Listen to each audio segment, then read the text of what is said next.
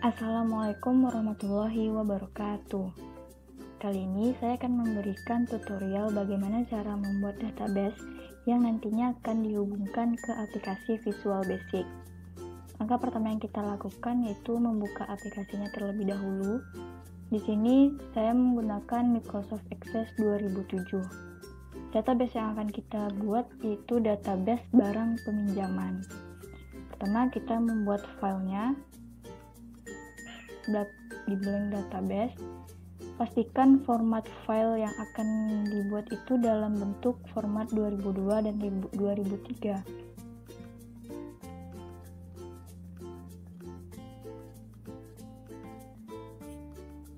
Setelah file kita ubah formatnya, kita bisa membuat mulai membuat database Nah, yang pertama itu kita akan membuat beberapa tabel. Yang pertama tabel data peminjam dan juga tabel data alat. Kita ubah terlebih dahulu dalam bentuk dan tampilan design view. Ini saya akan membuat tabel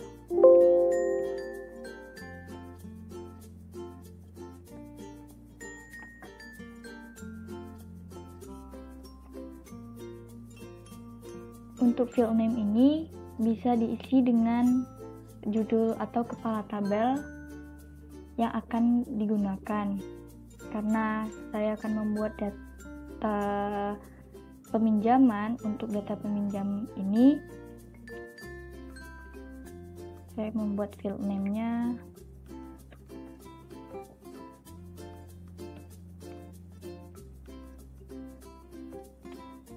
untuk data type itu kita bisa atur menjadi teks.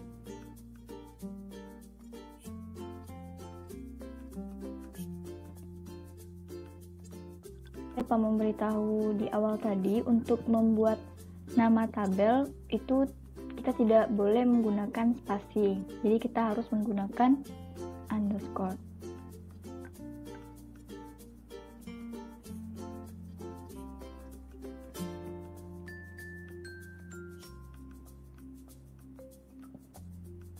Setelah itu kita ubah tampilannya dalam bentuk datasheet.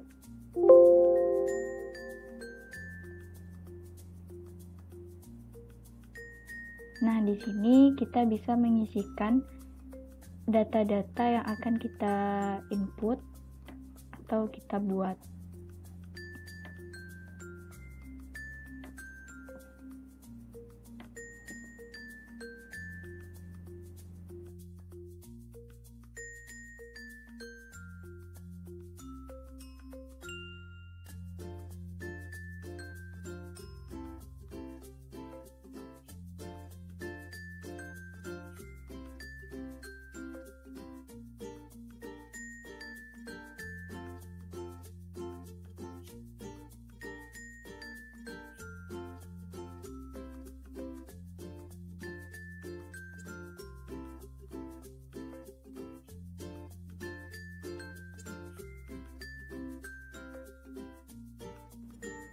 Ini contoh data peminjam yang sudah saya buat. Selanjutnya kita akan membuat tabel data barang atau data alat. Selanjutnya itu bisa kita ambil di create tabel kita ubah dalam bentuk design view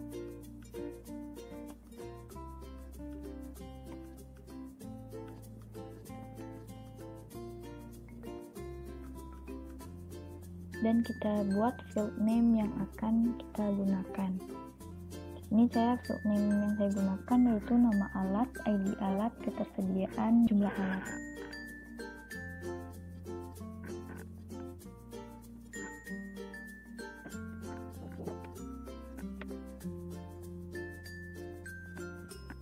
Data type di ketersediaan ini kita menggunakan kita mengisinya dengan lookup wizard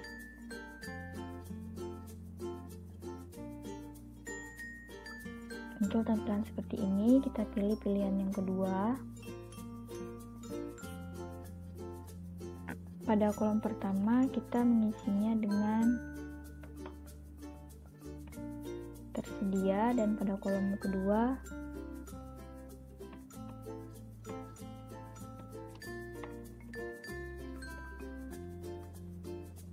tidak tersedia. Next dan finish.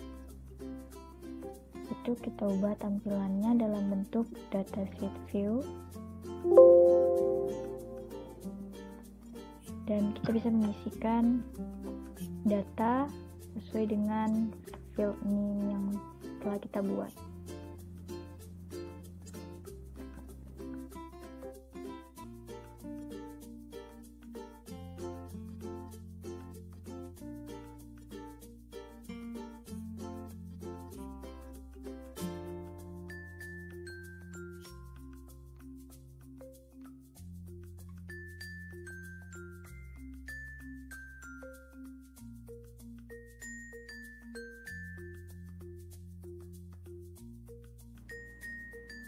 Ini contoh data barang yang sudah saya buat.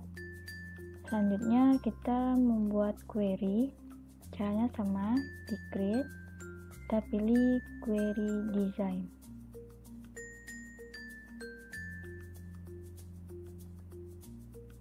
Kita add semua tabel yang kita buat.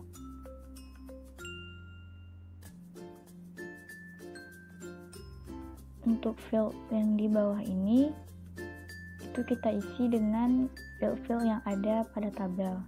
Caranya, untuk data peminjam, kita klik dua kali setiap, setiap field yang ada.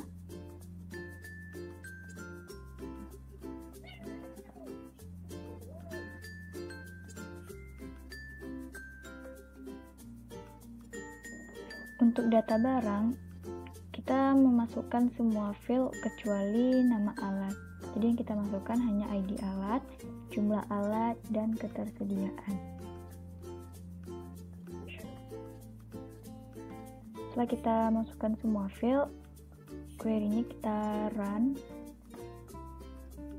Dan inilah hasil query. Untuk tabelnya bisa kita kreasikan atau kita rapikan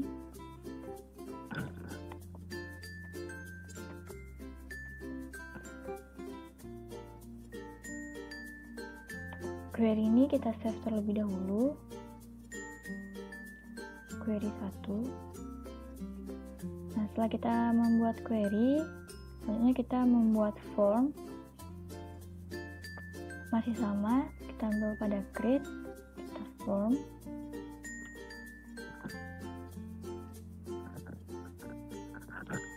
Nah untuk judul tabel ini kita ganti menjadi form 1 oke kan? Pada form ini kita akan membuat perintah atau tombol-tombol yang akan kita jalankan pada data untuk makro nantinya. Jadi untuk membuat buttonnya uh, tampilannya kita ubah dalam bentuk desain view terlebih dahulu. Setelah itu form footer. Ini kita drag ke bawah sebagai tempat button yang akan kita buat. Untuk membuat button kita memilih icon button dan letakkan pada form footer untuk letaknya bisa kita kreasikan. Nah e, di sini saya akan membuat button next selanjutnya. Jadi untuk kategoris kita pilih record navigation dan action kita pilih go to next record.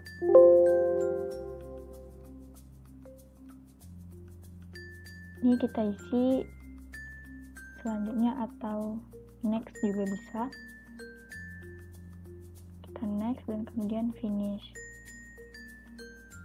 Button yang kedua saya membuat button sebelumnya.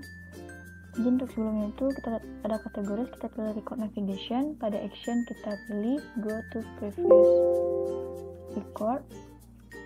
Kita isi back atau sebelumnya juga boleh kita next kemudian finish. Untuk button yang ketiga. Untuk perintah print. Jadi ini record operation. Untuk actionnya print record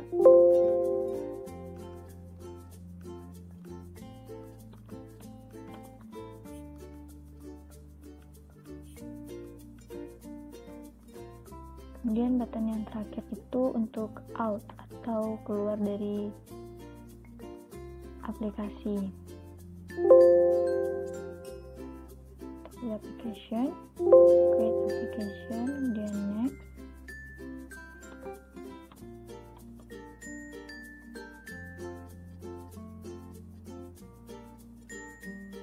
Selanjutnya kita pilih combo box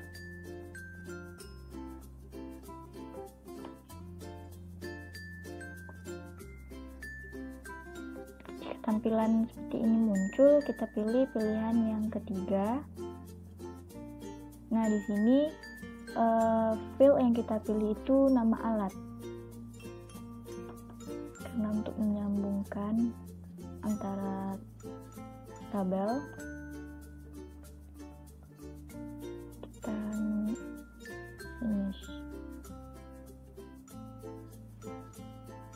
Untuk letak-letaknya itu bisa kita kreasikan, kita rapikan.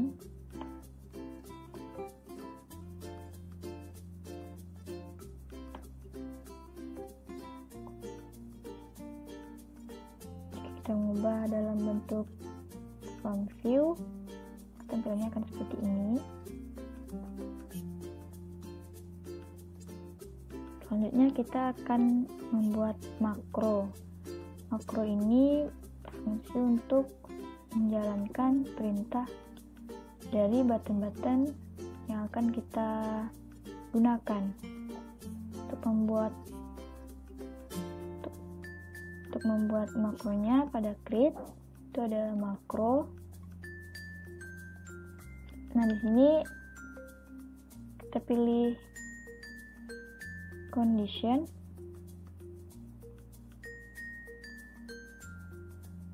kita harus pastikan untuk mengklik condition dan argumen. Pada condition ini,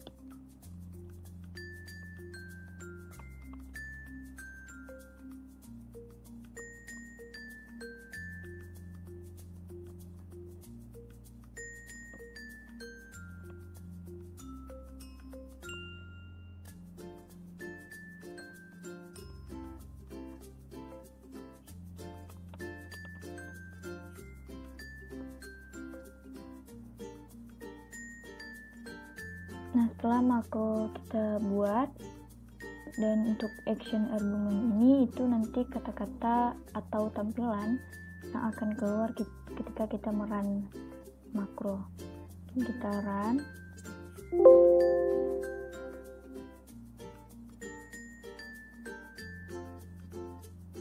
Nah, jika muncul tampilan seperti itu berarti ada yang salah pada query kita harus memperbaiki. Jika query makro kita sudah betul, maka akan muncul tampilan seperti ini.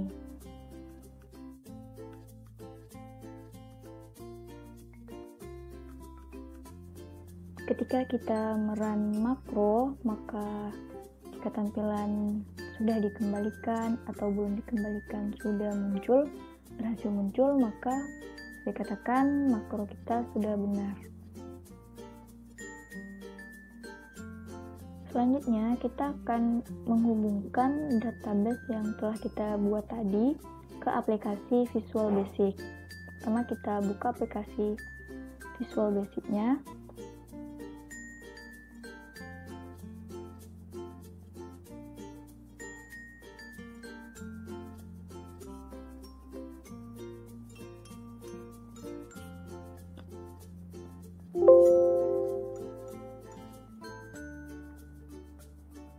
Kita pilih standar X. Nah, setelah muncul tampilan seperti ini, hal yang kita buat pertama itu adalah judul dari database. Untuk membuat judul itu kita menggunakan label.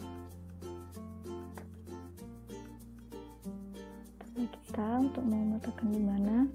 Nah, untuk mengubah mengubah caption yang ada pada label ini bisa kita ganti pada properties kita ubah caption data peminjaman untuk mengubah style atau mengubah letak dari judul ini bisa kita ubah pada properties untuk letaknya pada alignment bisa kita ganti di tengah. Dan untuk stylenya itu kita ganti di font.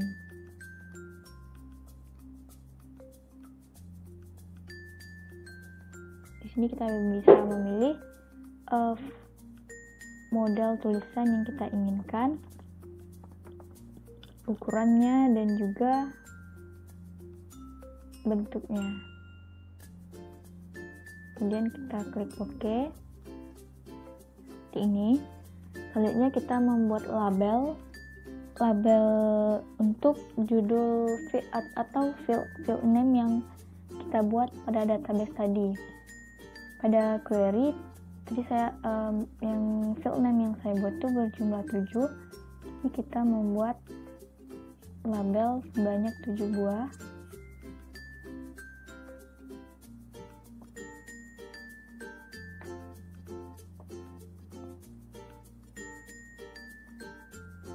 untuk mengubah nama-nama pada label ini juga sama seperti yang kita lakukan untuk judul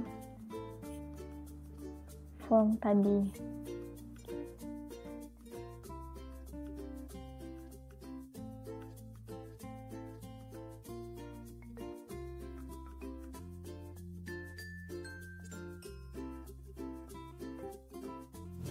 Selanjutnya kita membuat text box yang berfungsi untuk menampilkan database yang kita buat tadi.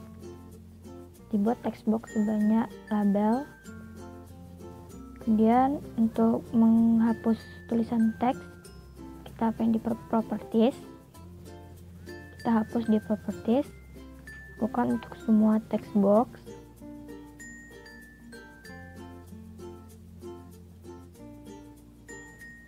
setelah itu kita membuat frame Frame ini berfungsi untuk merapikan tampilan Visual Basic. Dan nanti uh, untuk caption frame ini kita ganti dengan option.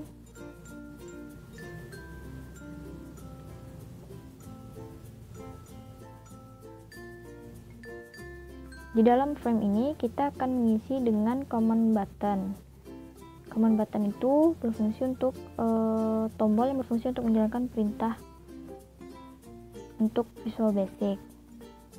Di sini saya menggunakan 5 command button yaitu untuk perintah add, delete, update, refresh, dan close.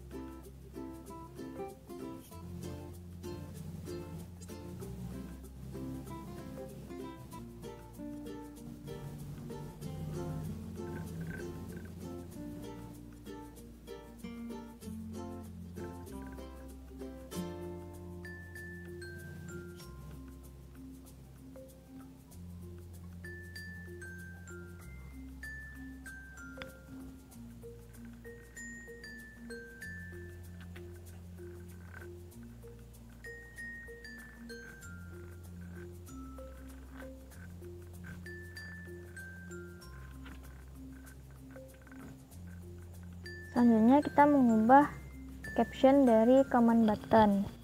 Caranya sama seperti yang kita lakukan pada label dan text box. Kita ganti caption yang terdapat pada properties.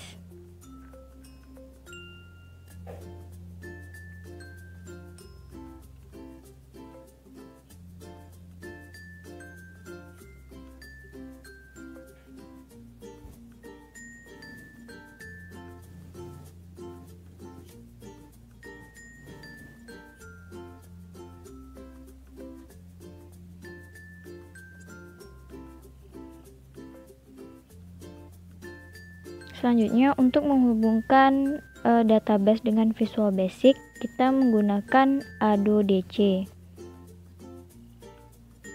Untuk menampilkan icon Ado, kita mengklik kanan toolbox pada bagian toolbox ini, kemudian kita pilih komponen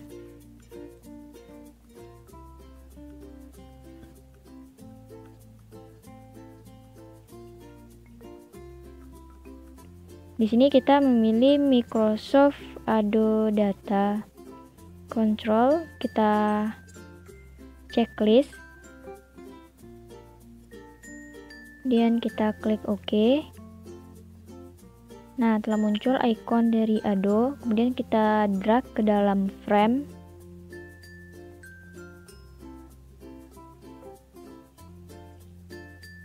Kita klik kanan terus lalu kita pilih Ado Properties. Muncul tampilan seperti ini. Kita klik build.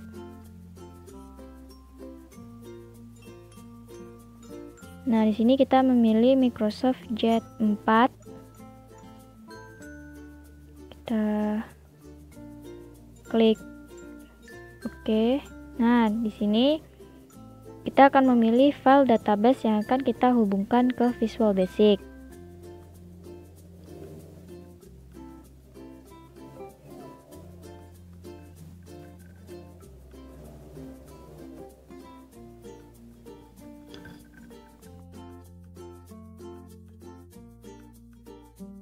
Nah, di sini selanjutnya kita klik test connection untuk mencek apakah dia sudah terhubung. Nah, jika sudah terhubung, maka akan keluar tampilan seperti ini. Dan jika dia tidak terhubung atau tidak bisa, kita bisa mengclose file yang kita buat tadi atau yang akan kita gunakan. Atau kita juga bisa menutup aplikasi Microsoft Access. Selanjutnya kita klik OK.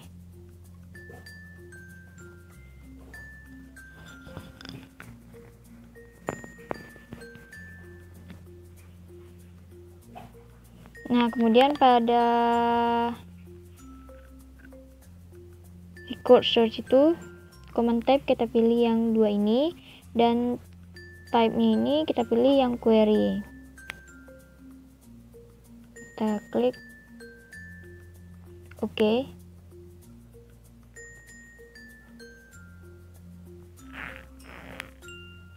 Nah, setelah itu untuk setiap tabel eh setiap text box itu pada properties data sortnya itu kita pilih yang ada di C1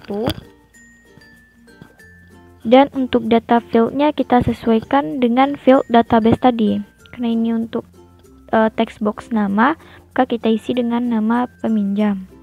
Begitu juga untuk semua text box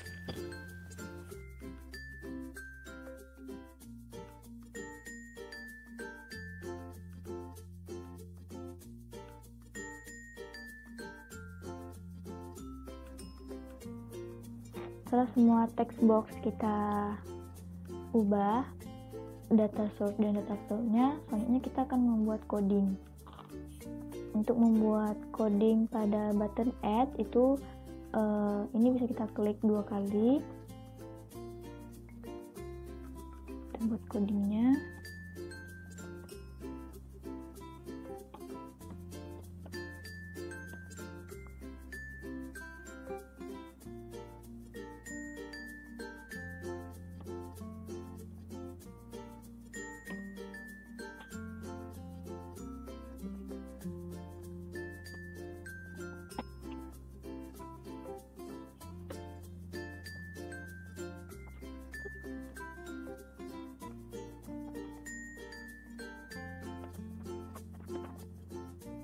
Berikut coding yang sudah saya buat. Ini coding yang saya buat untuk setiap button yang tadi saya gunakan. Kemudian kita close. Nah. Nah untuk mencek apakah dia berhasil atau tidak kita run jika Jika, jika muncul tampilan seperti ini, berarti coding kita sudah benar.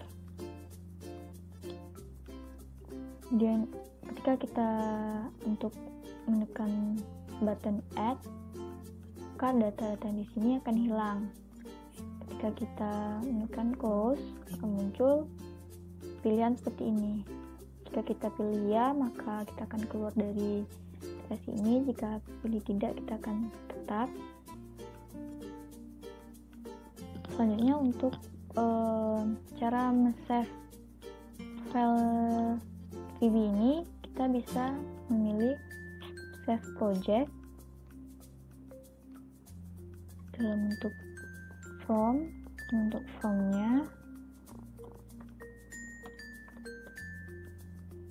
Kita simpan. Nah ini untuk projectnya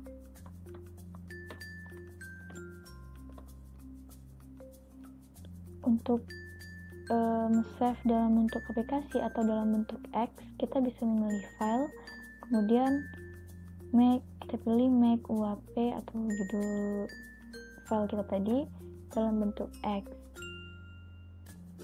yang kita oke okay.